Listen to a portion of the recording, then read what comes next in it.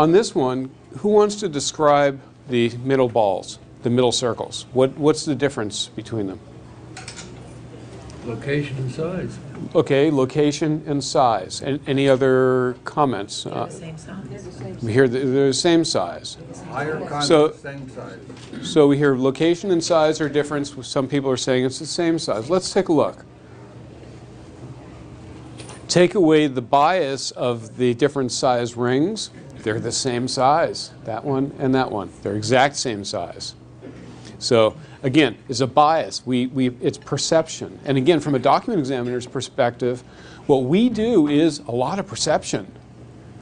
We do pattern matching. We do looking in, in things of that nature. So what, one of the things we have to look for from a bias perspective is are there surrounding issues, and this goes to any forensic science, is there surrounding issues that can adversely affect our perception, our biases. We get, we, we th- get things get in the way, things cause perceptive differences. That's where we have to make sure that when when we're looking at and understanding, we understand our biases and how, what, what do we mean. So what do we mean by bias? Well, Black's Law Dictionary defines bias as a predisposition to decide a cause or an issue in a certain way. So we go into the case, we already have an idea of how we want to solve it, how, how, we, want, how we think the answer should be. That's our bias. We'll, we'll look at the causes of bias, and some of the things we, have, we can look at is we, we say that analysis seeks to produce reliable evidence. Reliable evidence. And as experts, we need to recognize when our biases can interfere with that reliability because we have a perception of what it should be or what we think it is. We all have biases. Is there anyone in this room who does not have a bias of some sort? When, when an expert witness has a bias, he's defeating his purpose. He's got to go in with an open mind and call it like it is. Um, uh, So I, I, I'm not that intelligent, but I can't agree with, with that theory because you, you have, uh, you have, you have to forget your bias if you want to be a good expert witness. You have to forget your bias, but the idea is you have your biases. And, we- and as experts, one part of our job, isn't it, as you said, to forget the biases, to go in and partly recognize these biases so that we can put them aside.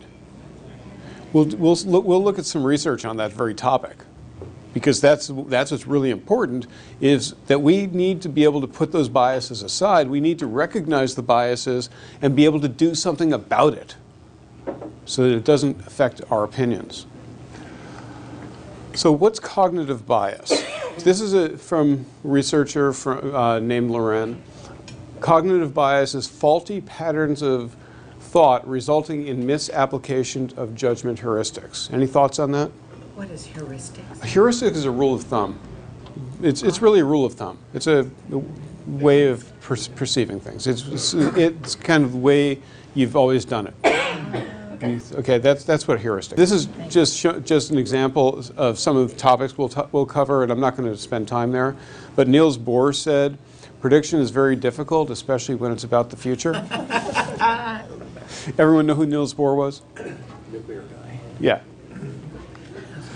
So we say people apply three important biases in strategic decision making, and that's what we're doing as experts. We're making decisions, not just tactically, but we're making st- strategic decisions, insensitive to probabilities of outcomes. And what that goes to, and especially those of us, for example, in document examination, is needing to understand the base rates. What is the base rate of occurrence of certain types of writing? How, how many people in the population use certain types of writing? Do they use a Zaner Bloser or a Pal- uh, Palmer or, or whatever type of writing style that they've been using? We, we, need to, we don't look at it from, we need to understand statistically what our base rates are. We'll talk more and more about this. Focus on performance targets, and, which causes us not to think of different alternatives. We go in and we focus. Here's the target we need to, we need to solve. Here's our, the, what we're trying to come, the, the solution we're trying to get, and it, we don't do the research to look, expand the knowledge, to look outside. And think outcomes of the decisions are under our control. That's really big. How many of you think really think your decisions are totally under your control? And the and the, the the results of your research are under your control. Anyone? They, they are, right? Anything that's outside of your control. Yeah, you don't, you never have all the information you need. That's right, Yeah. yeah. You never have that. And you will sometimes, in a later deposition, get some of that missing information from earlier. Sure. and what's the result of that? Sometimes change in opinion. Mm-hmm. Exactly. So one of the things we look at is, you know, if that we need to get as much information as we can, but again, as Bill said, sometimes it comes in a lot later as we do more research. So how are biases expressed? Some are on the unconscious level, some are on the conscious level. We'll look more in terms of those. When we say are, are on the conscious level, we base them on the knowledge that we have. We consciously make a decision. I understand this, so therefore I'm going to make it, I, I perceive something, so therefore my bias becomes at a conscious level based on my perceptions. On the unconscious level, this is where many of the biases occur. We don't even realize that the bias exists. We, we read about something occurring in the paper, so therefore we, we, we become fearful that that will occur to us. Example, an airplane crash. If there's an airplane crash, people get afraid to fly. Why? It's no less safe today than it was yesterday, but on the unconscious level, there's this bias because that we- of, the- is no of our longer safe. biases. The, because it's there, you expect it to be in the in the solution You know box It's be in that box, it and it's not there, it causes discomfort. And sa- think about that from your cases. Do you ever look for something you expect it to be there, and it's not there, and you just keep looking for it and looking for it because you anticipate it? I must be missing something. All the time. And that goes exactly to the question you asked earlier about putting your biases aside. See? It's hard to put your biases aside.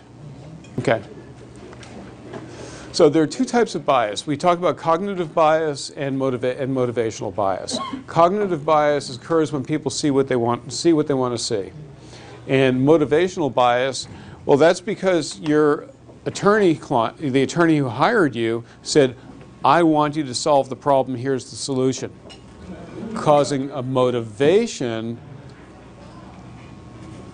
And we'll see how sometimes that can actually affect what you do whether you want it to or not.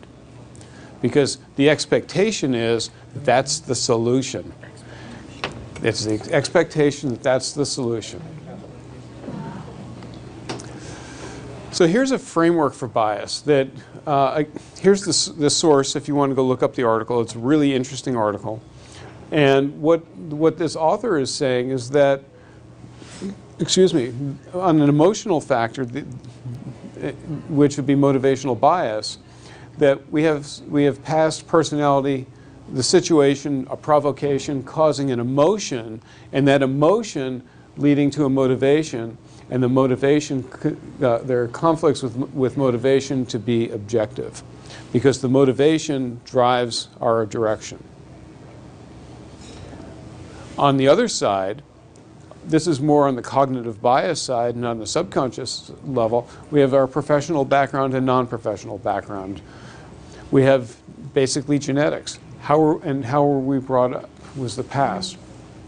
Leading to non-emotional factors. We don't really have, we don't have an emotional tie to the situation, but we have all of this knowledge that we've gained in the past that fun, funnels in and limits our objectivity because our focus is based upon what we know exists. How, how many people have seen people extrapolate from one point? I've seen it happen once, so therefore that's how the world works. And what happens on that in that situation? That's called anchoring heuristics. And we're going to get there. Yeah. Absolutely. In criminalistics, it happens all the time with, with uh, crime scene analysis. Mm-hmm. And can you elaborate on that? Uh, well, a, the head criminalists, when they first come to the scene and process some information, not all, they come to a conclusion as to who perpetrated the particular crime. And then everybody gets in line behind that, and regardless of exculpatory evidence being presented for that, the defendant, now defendant, uh, they ignore all that and go to the conclusion. I'm working on a case right now where that is precisely what is happening. Okay, good example. Very good example. prejudice is very much like that. You experience, you experience an uncomfortable condition with one person and you generalize the whole population. Right. You have a, a- a bad experience with one person and you generalize that to the entire population. Exactly. And that's where we're going to see how, you know, we need to get away from this stuff. And as experts, one of the things, as as you said, we have to put that aside. We have to learn to recognize it, to put it aside. But sometimes even recognizing it doesn't put it aside. So motivation and, and, and ability uh, to affect the information processing of jurors. This is straight out of research. Out, out of research. It's not my opinion. If motivation or ability are low, jurors rely on heuristics. They rely on their rules of thumb. They rely on their beliefs. If they don't feel motivated to listen to what you're saying. Means you have to uh, we as experts we have to be able to motivate the jurors to listen to us and to understand our story. Jurors rely on representativeness, representativeness that's lifelike and what that means is they go into their fund of knowledge as the previous slide called it and maybe they saw it in a movie. Maybe they saw it on csi so that's how life works because that's their experience. I mean, does that really happen? Yeah, it does. These guys did, did the research on it and found out that that very, very situation happens. And that means that we as experts have to put our presentation to the jury in a means that makes sense to them, that they can understand as, as real life that we have to connect with them.